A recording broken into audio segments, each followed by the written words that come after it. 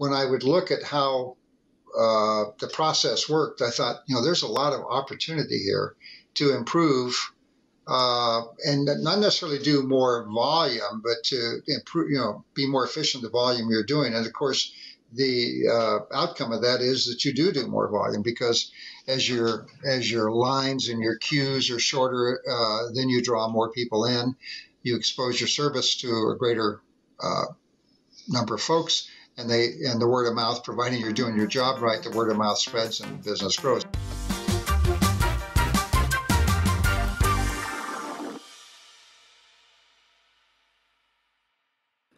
Welcome, everyone, to the Modern Car Wash Podcast. I'm your host, Kevin Zalaznik, and today is the day Bill Martin comes onto the podcast. Uh, just years, years, and years of experience, uh, tons of knowledge. Heading into the interview, uh, what I kept hearing was Bill is the nicest guy out there, and he is an industry innovator. And I think you'll see that certainly or hear that uh, on this week's episode of the podcast. Bill's certainly gracious with his time, gives us insight into the current landscape of the industry, where it's going, um, and, and really some great insight into if you're an operator, what you need to be doing to survive uh, in, in, the current landscape uh, uh, that we live in today. Uh, a great 45 minutes coming up. I really hope you enjoy it. I certainly did. So let's get into it.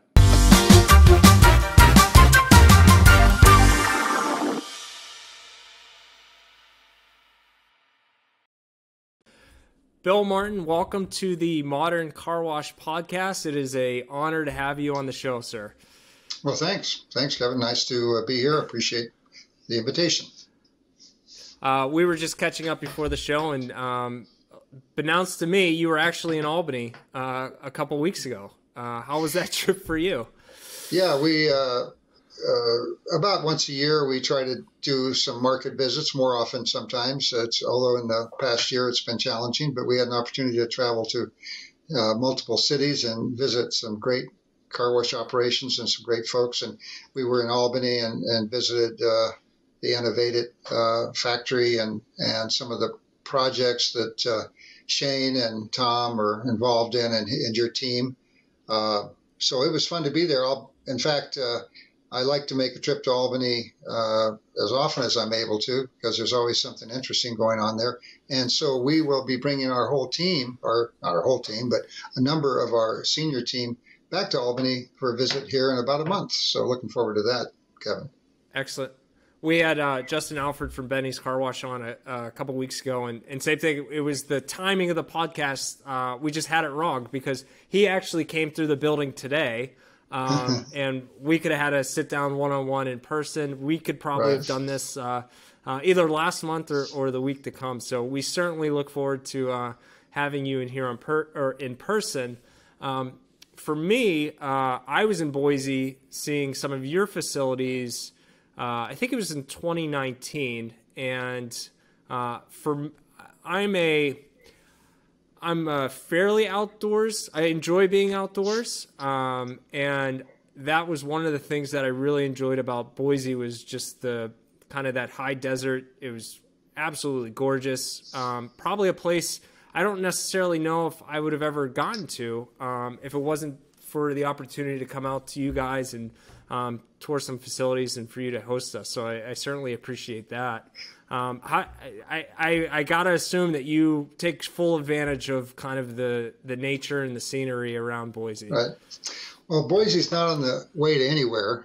you got to come here on purpose, and uh, we want to keep we want to keep the uh, keep it sort of under wraps because uh, it's uh, the word's out. Too many people are showing up, but it's a great great community and uh, growing uh, like a lot of communities. And so we've benefited, our business has benefited, and uh, we love it here. We've got uh, our, our, families here, extended family, and yeah, it's a good part of the country to be in. We like it. Is it good for Boise good for you, washing cars. Oh, is is Boise where you grew up? No, originally uh, I'm a Californian and uh, uh, spent some time in the Midwest. Met my wife in the Midwest. She's from here. we ended up here, and it was a it was a great choice. Been here moved here a long time ago and been here a long time. So, uh, I know you've you've operated uh, a few car wash brands over the years. Um, can you just kind of, for those who don't know, uh, can you just walk us through kind of your history in the industry? Sure. Well, uh, like a lot of young people, I started out in the business. Uh, I was intrigued by it, uh, and as I say, I started in California, and there, uh, car washing was a big deal uh, when I was getting into the business, and uh, mostly full service and free with a fill up and that sort of thing. Anyway, I was intrigued by the nature of the business, by the production aspects, and as I looked at it, I thought it just I seemed to connect with it because I felt like there was something I could offer that would improve the business and uh, be fulfilling uh, for me in, my work. I didn't think of it in terms of a you know lifetime career. Obviously, I don't think when you're in your 20s you, get that far ahead of yourself, but uh, at least I didn't. Uh, but as you know, as time gone, went by, of course, I uh, uh, got fully engrossed in the industry and and made it my lifetime career, and happy about that. So sort of got into the equipment side of the business as an entree, uh, selling and, and this, I, would say that, but during the day I'd go out and try to sell equipment. At night I'd help, I'd try to install it or, you know, did, made an effort to do that anyway. I didn't know much about it, but I, I learned. And, uh, uh, and then had an opportunity to get into the car wash business uh, uh in the 70s, actually going back to the 70s during the oil embargo. And uh, anyway, grew in the exterior end of the business first it's so interesting because back then in the uh, mid 70s, we were doing free, or sorry, uh, exterior car washing with free vacuums. Uh, that comes, you know, people talk about that new innovation. Well, we were, we were not, not just us. We weren't the first to ever do that, but we were doing that in the 70s. And uh, uh, so it's not a new idea, but of course it's been taken to a much higher level uh, than what we were doing. It was somewhat primitive, but still, it, it was uh, well well received. We also, I was also in the full service end of the business. Uh, got into that when we came to Boise. Uh, been in the we we currently have full serve exterior lube or let's call it flex serve. Uh, we have a lube. We're in the exterior business. We're not building any new flex serves. I don't think many people are. Uh, it's right. still a it's still a segment of the industry that the consumer uh, wants and I think we'll continue to want and continue to uh, patronize. Uh, but because of the challenges of managing the labor component and the variability of demand, uh, it, people are, are shying away from it. Uh, sure. And I think therein, by the way, lies an opportunity. I think if you uh, are up to that challenge of managing the aspects and, and, and trying to find tech, technological ways to do a better job uh, with with with a lower labor component, there's a huge opportunity in that flex serve because uh, people are more affluent than ever. They drive nicer cars. They want to keep them nice. Uh, gosh, in a pandemic uh, world, uh, people want that car clean inside and out.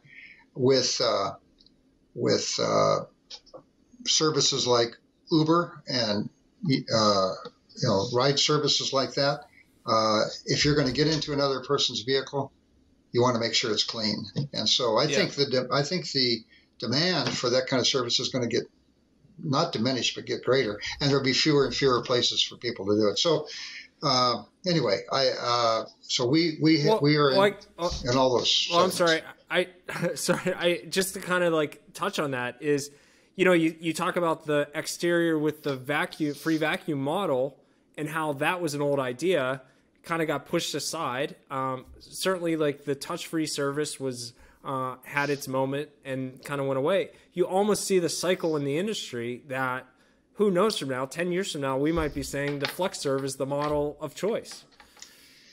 Well, I know that there are some folks that are working on the uh, robotics, uh, so finding ways to streamline and add more efficiency to vacuuming and window washing and that sort of thing.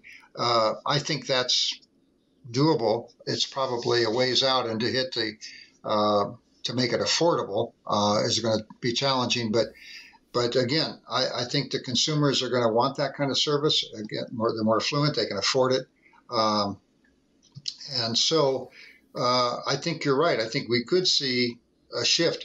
But the challenge is a couple of things. One, it takes a bigger footprint, a bigger facility. It's more expensive to build, and then it's more expensive to manage and uh, with the labor components. So you got to fit all that. Although on this tour we took recently, we did visit a, a facility being built that's uh, where the owner is going to try to employ some robotics to achieve just what we talked about. So uh, I think the the thing is there. Stay tuned because uh, it's it's going to be uh, evolving. Yeah, it, um, I remember watching or listening to a conversation with Elon Musk and love him or hate him. Um, but one of the issues that he said that he, they had with Tesla was they tried to automate the entire process, and what they missed was, you know, a swinging hose. A robotic arm can't grab a swinging hose, or yet it can't.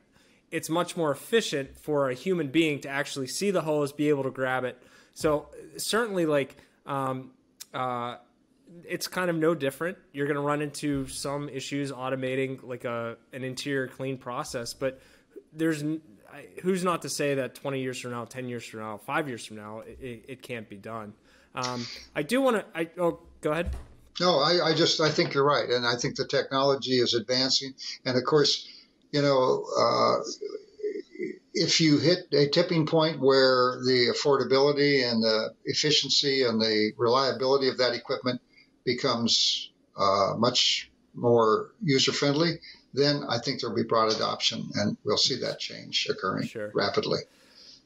So maybe I don't know. Two minutes ago, I rudely interrupted you to ask you a question. So I do want to go uh, swing back a little bit and talk about uh, the start, your start into the um, to the industry, and it sounded like you were drawn to the operation, the process of it. Um, was that what most uh, excites yeah. you, or? You know, it really did. It kind of, I call it the production model. It kind of fascinated me as I watched it, and I and when I would look at, of course, I'm going back decades, but when I would look at how uh, the process worked, I thought, you know, there's a lot of opportunity here to improve uh, and not necessarily do more volume, but to improve, you know, be more efficient the volume you're doing. And of course, the uh, outcome of that is that you do do more volume because as your as your lines and your queues are shorter, uh, then you draw more people in. You expose your service to a greater uh, number of folks, and they and the word of mouth, providing you're doing your job right, the word of mouth spreads and business grows. And we've seen it. I mean, everybody knows about what's happening with uh, memberships, and you know, there's uh, the numbers vary, and the number of conveyors in the in the United States. Uh, I think the latest information I have is somewhere around 17,000 conveyors. Uh, that doesn't include in-bay automatics and things of that nature, but uh, and so that's of all types. And the average volume is pretty low. The average throughput in those average is pretty low. So the ones that uh, can really perform well and do a great job, there's a big opportunity to, to increase that. And even with the uh, what we've seen with consolidation, and I was involved going back to some of the history. I was uh, my three car washes in Boise were the first three car washes that Mr. Car Wash ever owned.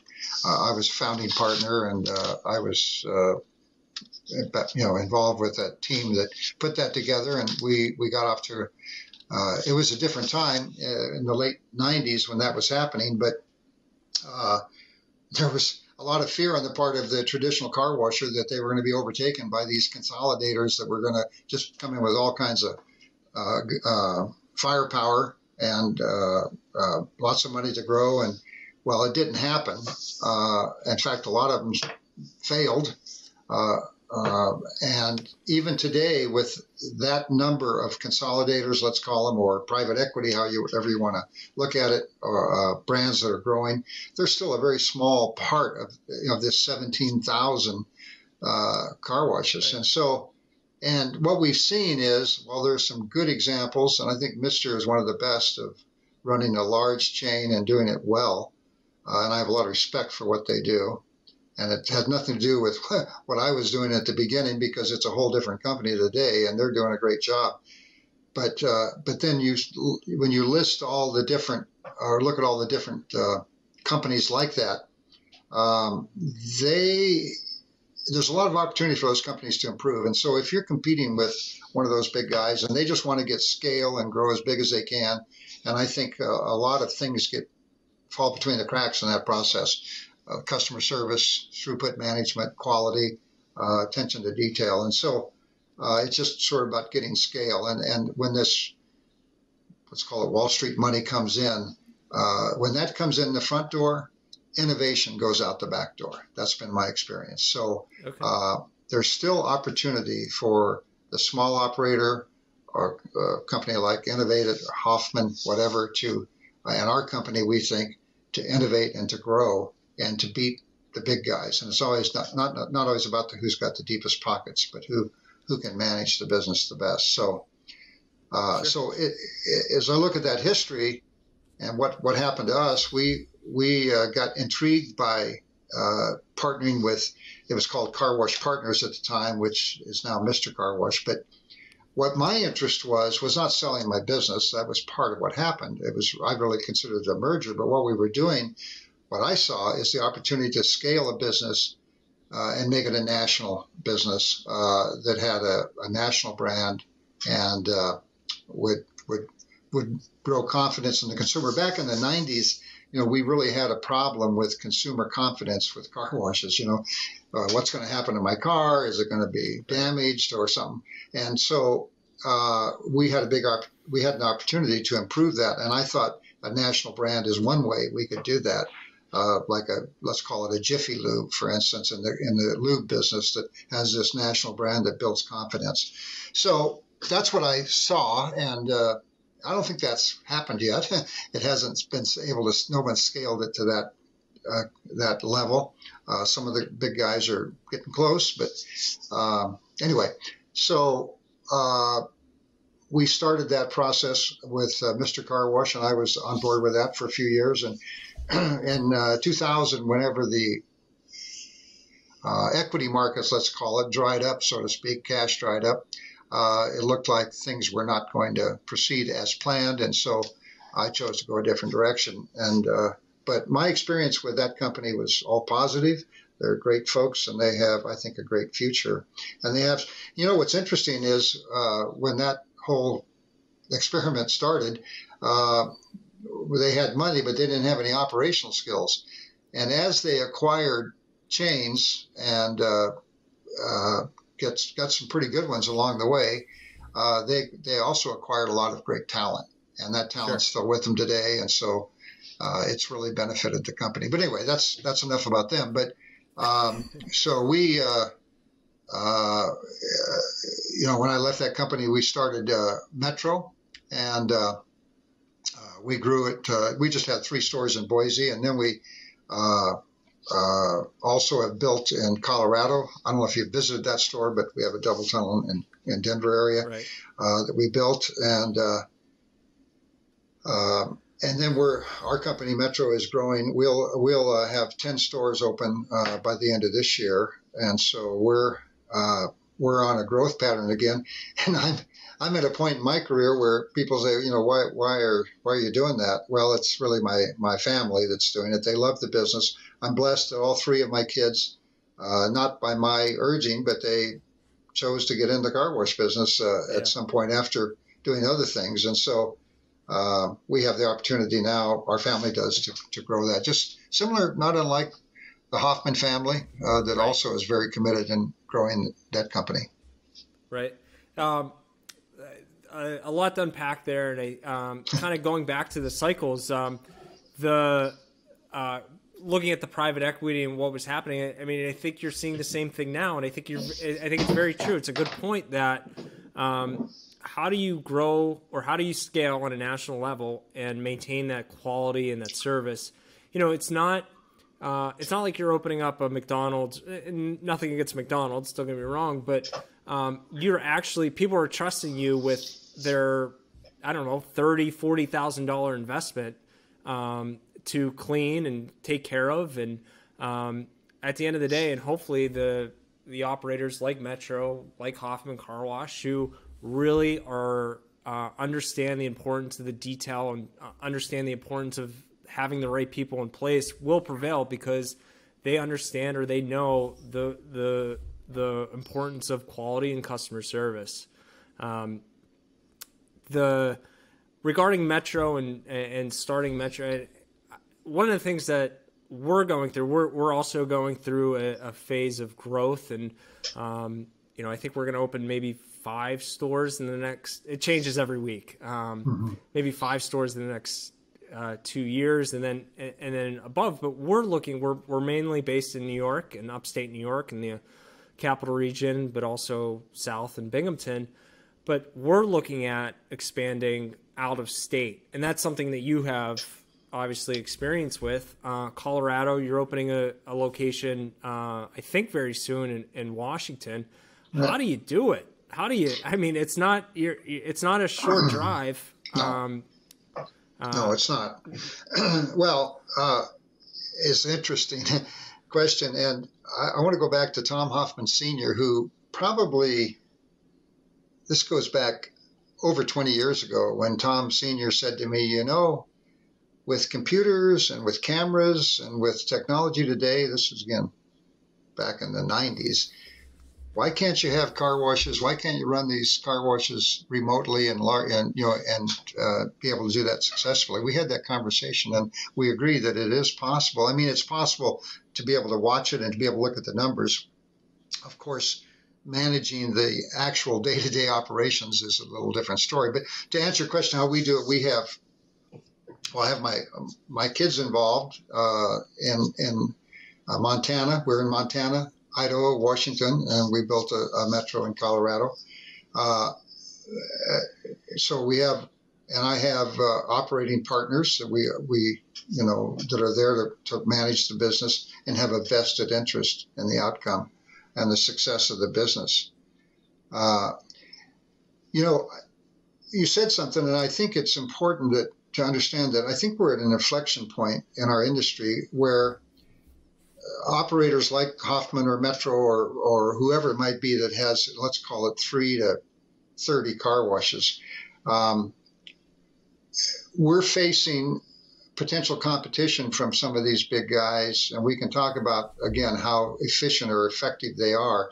But they do have, and, the money that's been coming to our industry, the uh, what we call it Wall Street money or whatever, has gotten the numbers have gotten uh, just I mean a nosebleed level. I mean uh, the a recent transaction.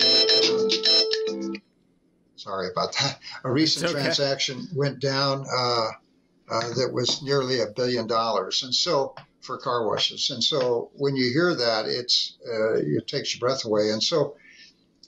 What does that mean for Hoffman Car Wash or Metro Car Wash or you know uh, Joe and Mary's car wash. I think that we have to be diligent and pay attention because uh, they are going to come in on top of us, and we're going to have to perform not only perform at a higher level, but if you have, let's say, you have three locations in a in a market, and uh, one of these big guys comes in and they decide they want to build ten.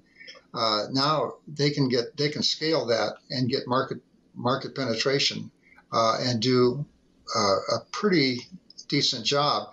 And if they take, you know, if they take your profitability from X down to Y, uh, that could significantly impact the value of that enterprise and not just temporarily, but long term. So I think that uh, what we're going to see going forward is decisions operators are going to have to decide are they committed to growing? Because if you just if you're just going to run those, let's call it three stores or five or whatever it is, uh, there's a good chance you could get overrun.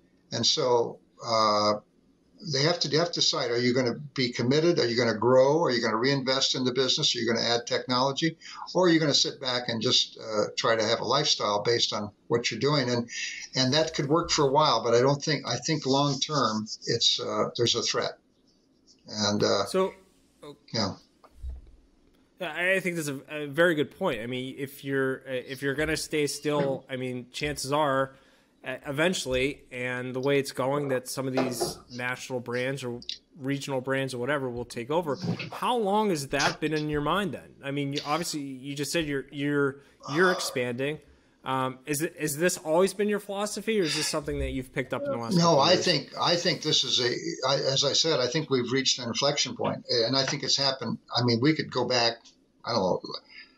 Let's call it to 2019 or 18, somewhere in there. Uh, whenever, and I think that COVID, interestingly enough, changed the dynamic because we all know that the car wash industry did pretty well in the COVID year. It's it's no yep. secret now, and uh, the this smart money, let's call it, uh, uh, has watched that as well. And as they look at places to get a return on investment, and they look at retail or different, you know, manufacture, whatever it might be, and they see how well we came, our industry came through that uh, it has really uh, caught fire with, with that segment of investors. And uh, again, I'm not I'm not saying anything here that's it's pretty widely known. Uh, I'm a partner in a company called Amplify out of Phoenix, and Amplify uh, uh, helps companies that are wanting to either raise money to grow or, or maybe take on a minority partner or maybe do a cash and carry deal and, and sell out and walk away. And the, there are about 25 or 26 qualified, highly qualified buyers, uh, uh, companies looking at the car wash industry with uh, literally billions of dollars to throw at it. So, uh, so that's I don't Metro. I don't particularly worry about that because I think we want we need to focus on what our core strengths are, and focus on our, our core values as a company and build around that. Just as Hoffman or Crew Car Wash or other companies that we know of are doing the same thing.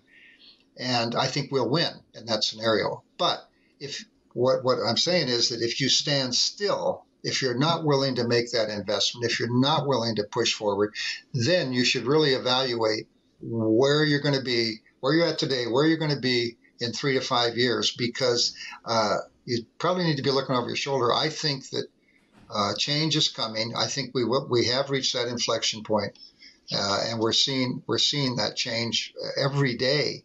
Um, and you know, uh, a lot of people in the business say, "Well, I can I can win against those guys because I can run a better operation," and there's some truth to that. However, uh, uh, when they when they can scale a company from again my my example where you have three stores or five stores and these big guys come in and they want to put 20 in, uh, that's a tough a tough battle to win. So uh, I think that's where our industry is struggling right now, trying to decide which one of the who am I? Am I going to just keep doing it? Am I going to, you know? And by the way, you just mentioned that Hoffman wants to add five stores in the next couple of years. I can tell you that five years ago, if somebody said that, they, you know, people's eyes would glaze over and say, "There's no way."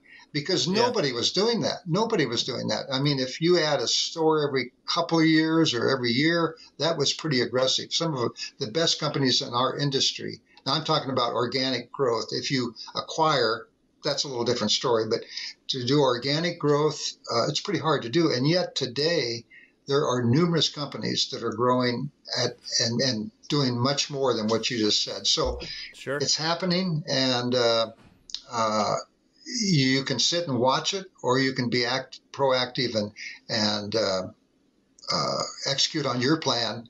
And uh, I think if you do that, again, I think good operators are going to always win. But uh, we we shouldn't be naive to say these big guys are, you know, they're it's a flash in the pan because it's surely not. Sure. Uh, I do want to shift a little bit and talk about um, yeah uh, your family and, and maybe get into Metro a little bit more. Sure. Um, you have all you have all three of your children uh, in the in the business. Right. Uh, so our oldest child is my daughter Micah, and she's our HR uh, specialist, and I guess. Uh, even beyond that, she kind of helps keep the trains running on time. She she uh, she keeps us all in line, and she's a, a, huge value to our company. Uh, my uh, uh, middle child, uh, Andrew, is up in Montana. And Andrew is an avid outdoorsman, and he loves being in Montana, but he also loves washing cars and building car washes. So uh, he he was in the military, and uh, after got out of the uh, worked in the car. all of them worked in the car washes when they were young, but they all did something else later. And after he graduated, he, he got a degree in physics, and I don't know why he did that because, uh, you know, it's uh, it's kind of useless to him. But anyway, I guess I said, "Why are you getting a degree in physics?" He said, "Well, it's fun. I like it." I said, "Oh, really?" anyway, uh, so he he went in the military, and then uh, after got out of the military, uh, did some other things, and then decided he wanted to get back to the car wash business. Then uh, our youngest son, Derek, is our chief operating officer. Actually, been in the business longer than the other two. He he from almost from he, did some other things for a while, but you know, uh, in his mid twenties, he decided he wanted to be back in the car wash business. So they're all three in it. They all three contribute a different piece to the to the business, uh, and uh, we have been in the process of transferring ownership of the company to to the kids, and so uh, they will be going forward with the growth. Uh, a year ago, we had four locations. At the end of this year, we'll have ten. Uh, some organic and some acquisition, and uh, we have a, a, goal to grow pretty aggressively uh, in the markets we're in. and we don't we don't think that, that we think that that's doable and uh, manageable uh, on many different scales, you know, financially and operationally. We the secret uh, in, in all of this, of course, is having the right team, and that's one thing I admire about the Hoffman Innovative Group is they've got a great team, and I've I've seen it over the years, and and we've tried to emulate that with our company. And what I tell our folks is, you got to staff for growth, and you can't wait till you need them necessarily to go hire them. You got to be a little ahead of that curve, or you won't be you'll be playing catch up. Uh, it's it's a little bit of a challenge to do that because you got to make the financial commitment to bring talent sure.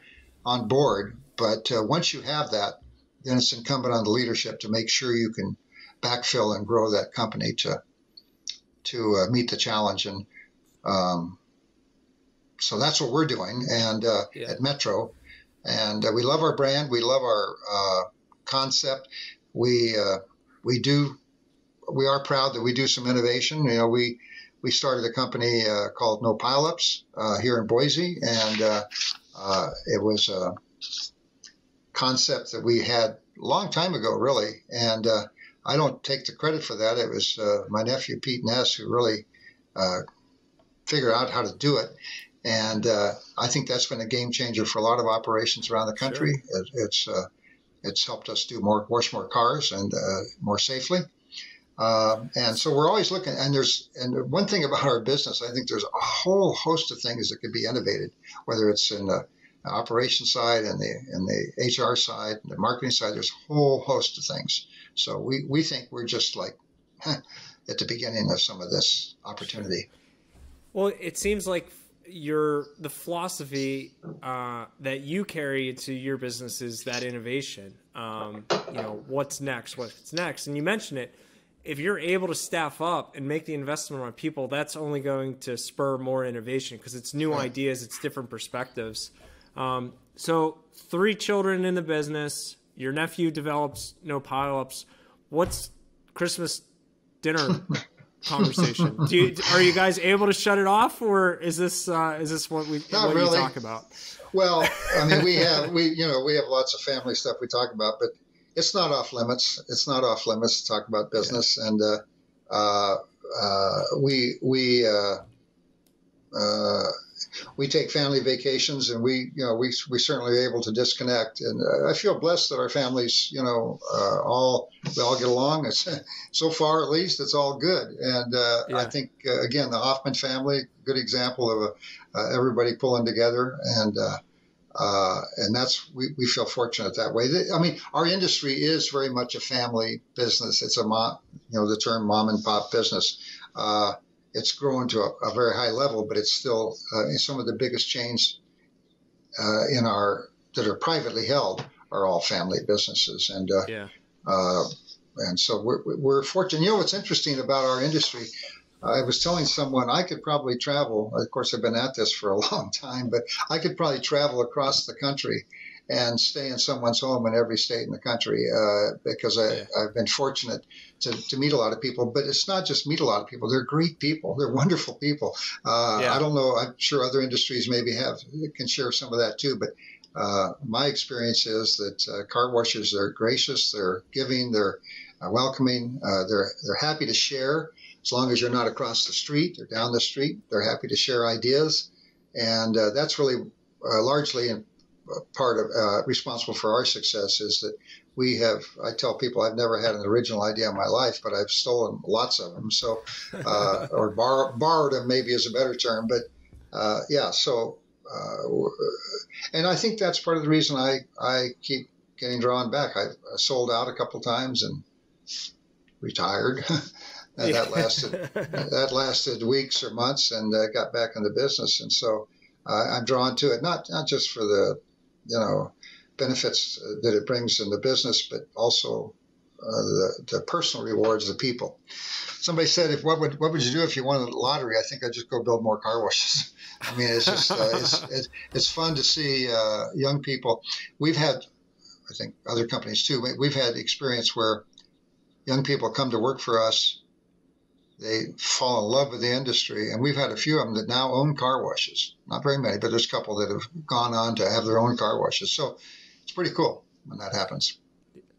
Well, it's it's nice because I mean certainly you're you're doing what you love. It probably uh, you know the old saying you, you, probably don't work a day in your life uh, doing what you love. Right. Um, and I think I think you're right. From my experience, and I've only been in the industry uh, almost five years now, but every operator owner that I've met is so gracious. Um, I think you're prime example of this. The fact that it took you know a couple emails to to have you booked and now we're talking one on one. There was no kind of uh, arm twisting to get you on the show, and I, I certainly appreciate that. Um, the, well, at my age, um, if somebody wants to talk to you, you want to listen.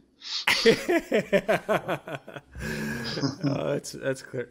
Uh, when when when I was in Boise, uh, I guess two years ago, uh, one of the things that really, and I'm a marketer. Um, I really appreciate design. One of the things that I loved about Metro were uh, just the brand that the logo has that kind of Art Deco feel to it. The neon lights. Uh, can you just talk about what went behind those decisions, or where you yeah, where you were inspired? Yeah.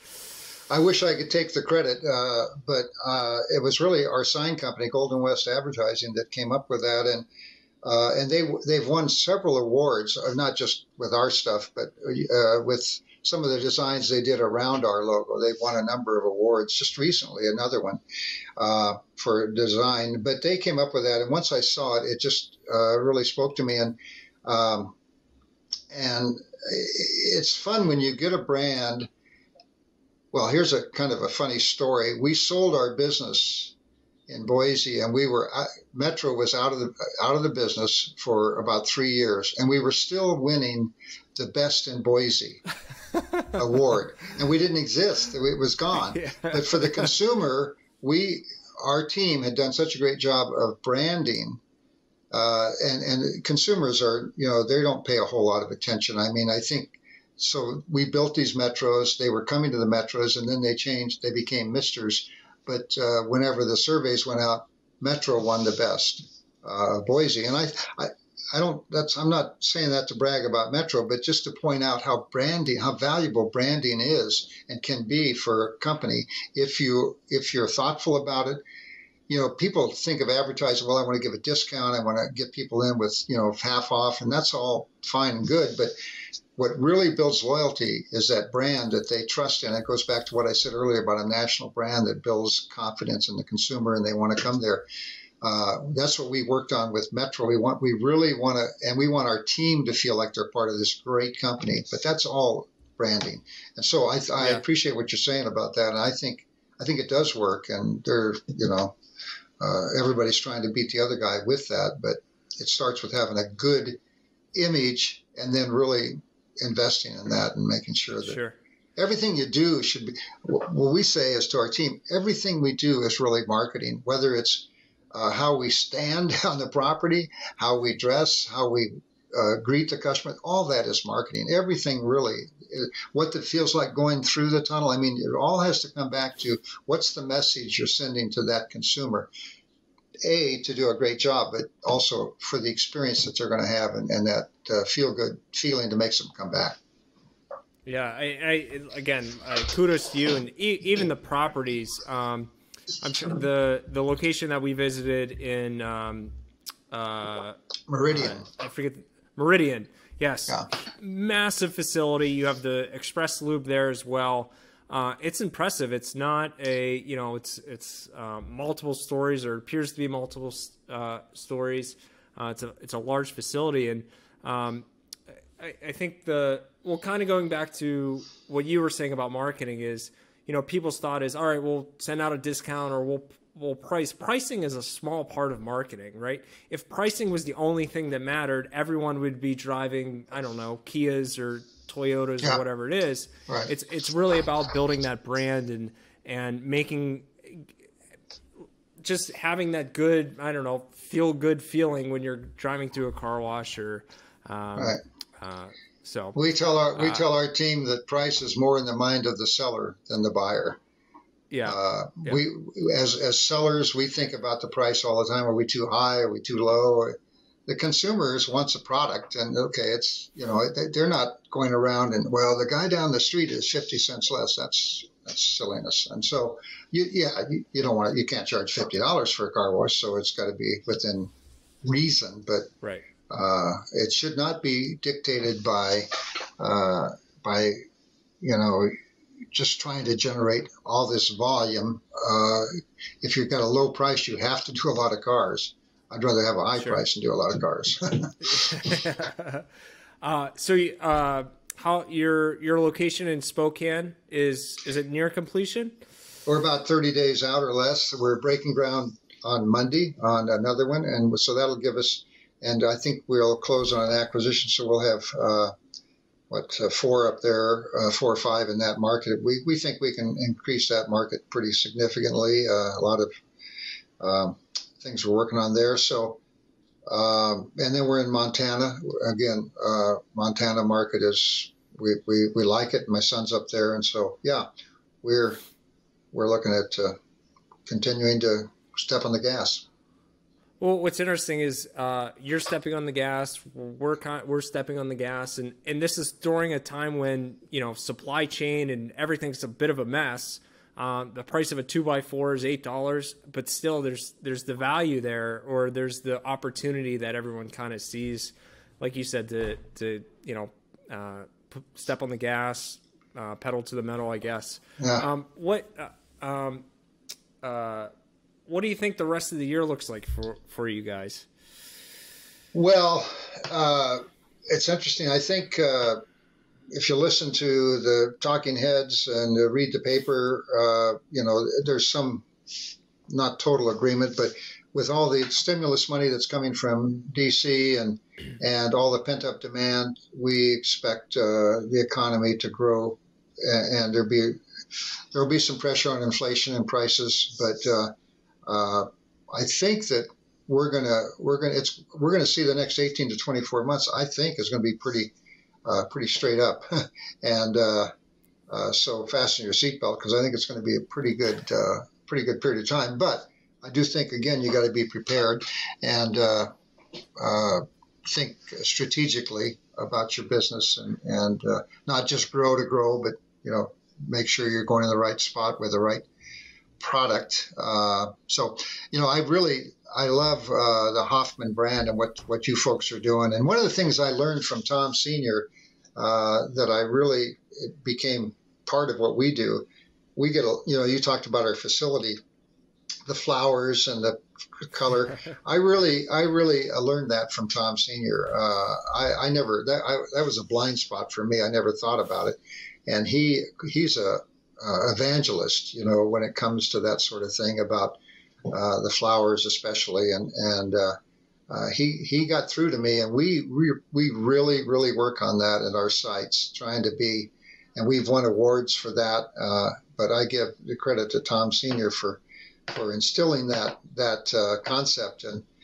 Again, what what we say to to people is when somebody's driving past our site at 35 miles an hour, I'd like them to turn their head and say, "Look at that place. It looks kind of. It doesn't look like every other joint down the street that's surrounded by concrete and asphalt. It's really kind of cool looking. I want to yeah. go and see what's going on in there." And so it's part of a way. It's it's your sign in in a way that draws them in. And uh, nobody does it better than Hoffman, but we we we try to emulate that in our company. So for our so. audience who, who might not know, is uh, uh, Tom Senior, uh, one of the founders of our company, Green Thumb. All of our locations have uh, remarkable just landscaping, the flower arrangements, everything. Uh, we actually have our own greenhouse. We have our own landscaping team. Uh, it, it's it's fun. I mean, you go to some of our newer locations, and um, the the landscaping kind of just.